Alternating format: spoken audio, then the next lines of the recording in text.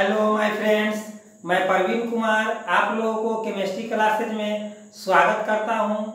देखिए दोस्तों, आज जो है मैं आप लोगों के लिए इनऑर्गेनिक यानी अकार्बनिक से ऑब्जेक्टिव लाया हूँ। बहुत ही मोस्ट इम्पोर्टेंट है दोस्तों पूरा पूरा वीडियो देखें। ठीक है दोस्तों? और समझ में आए और अच्छा लगे मेरा वीडियो तो आप लोग लाइक करें और शेयर करें। ठीक है दोस्तों? और सब्सक्राइब करना नहीं भूलें, क्योंकि सब्सक्राइब करने से होगा कि आप लोगों के पास मेरा वीडियो का नोटिफिकेशन बारी बारी से पहुँचते जाएगा। ठीक है दोस्तों? देखिए, एक नंबर में है, मांड विधि द्वारा द्वारा, मांड विधि द्वारा तीन धातु, कौन सा धातु? तीन धातु का शोधन किया जाता है। पूछता है कि मांड विधि द्वारा कौन सा धातु का शोधन किया जाता है? तो तीन धातु का शोधन किया जाता है। जोन परिकर विधि द्वारा द्वारा जर्मेनियम धातु शुद्ध किया जाता है। कौन सा धातु? जर्मेनियम का जी होता है दोस्तों। जर्मेनियम धातु शुद्ध किया जाता है। जोन परिकर विधि द्वारा जर्मेनियम धातु शुद्ध किया जाता है। ठीक है दोस्तों, अब आगे देखिए, गैलेना किसका अयस्क है? पूछेगा। तो गैलेना किसका अयस्क है दोस्तों? पीबी मतलब शीशा का। पीबी मतलब शीशा का। अयस्क में उपस्थित अशुद्धि को क्या कहते हैं? गेम। पूछेगा आप लोगों से कि अयस्क में उपस्थित अशुद्धि निम्न में कहलाता है तो क्या कहलाएगा? गेम। अब देखिए, पृथ्वी की सतह पर सर्वाधिक तत्व कौन सा पाया जाता है? तो एल्युमिनियम। ठीक है दोस्तों? अगर तत्व के अलावा छोड़ करके यदि आप लोगों से कह दिया जाए कि कौन सा धातु पृथ्वी पर सर्वाधिक रूप में पाया जाता है तो वह एल्युमिनियम ही होगा। क्योंकि दोस्तों, एलिमेंट में सभी, एलिमेंट में चार्ट पेपर यानी कि तत्व का जो चार्ट पेपर, वो सभी तत्व है, लेकिन धातु, अधातु और उपधातु में उसे विभाजित किया गया है। ठीक है दोस्तों, एल्युमिनियम धातु है।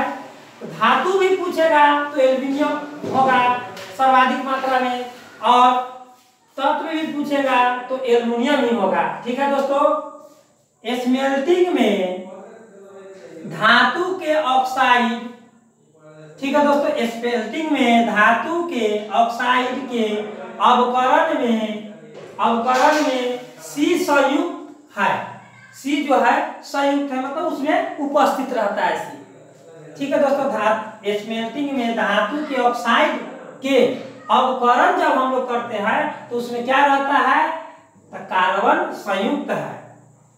अयस्क में यदि अद्रवणशील अद्रवणशील अशुद्धियाँ उपस्थित रहती है तो उनके निवारण के लिए तो उनके निवारण के लिए द्रावक पदार्थ डाला जाता है। पूछेगा कि अयस्क में यदि अद्रवणशील अशुद्धि उपस्थित रहती है तो उनके निवारण के लिए। ठीक है दोस्तों? जिस पदार्थ को हम डालते हुआ क्या कहलाता है? तो द्रावक कहलाता है। क्या कहलाता है? द्रावक। क्या कहलाता है? द्रावक। अद्रवणशील अशुद्धि को उपस्थिति रहता है ना, उसको हटाने के लिए, निवारण मतलब हटाने के लिए कौन सा पदार्थ, जिस पदार्थ को डालते हैं उसको द्रावक पदार्थ कहते हैं। अब आगे देखिए, प्रकृति में उपलब्ध अयस्क से किसी तत्व को लाभ पूर्वक निष्कर्षित किया जा सकता है।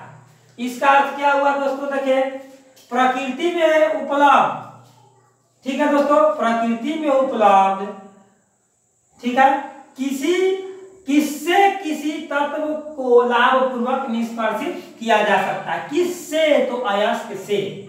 किससे? अयस्क से। या पूछेगा अयस्क किसे कहते हैं? तो प्रकृति में उपलब्ध अयस्क से किसी तत्व को लाभ पूर्वक निष्कर्षित किया जा सकता है।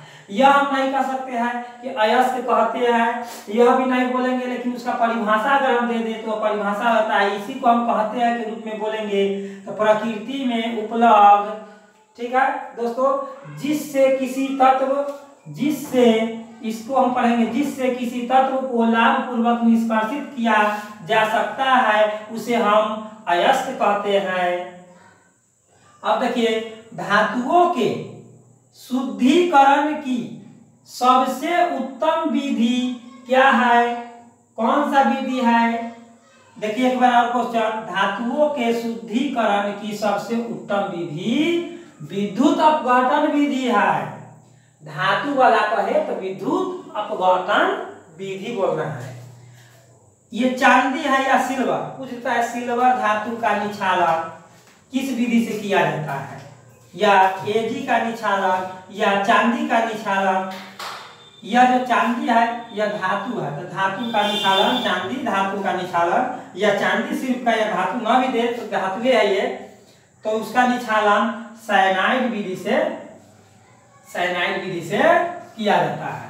ठीक है दोस्तों? अब है T I titanium plus iodide two iodide है, इसका दो अंग है। टू आयोडाइड को 500 सौ केल्विन पर जब हम अभिक्रिया करेंगे तो टिटेनियम टेट्रायोडाइड बनाएगा और फिर उसको हम 1675 केल्विन पर गर्म करेंगे तो टिटेनियम आयोडाइड पहले वाला जो था, दोस्तों, वो अशुद्ध था और अब जो बना है नया उत्पाद, वह शुद्ध है। हमेशा हम लोग शुद्ध बनाते हैं। यह कौन सा विधि से संबंधित है? पूछेगा तो हम लोग क्या बोलेंगे?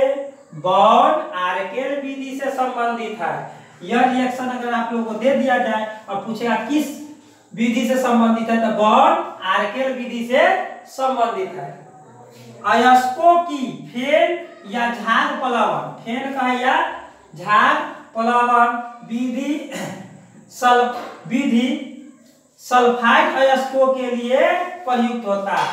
पूछेगा कि अयस्को के फेन, पलावन, विधि जो है, कौन सा अयस्को के लिए होता है? तो सल्फाइड अयस्को के लिए यह विधि लागू होता है। ठीक है दोस्तों?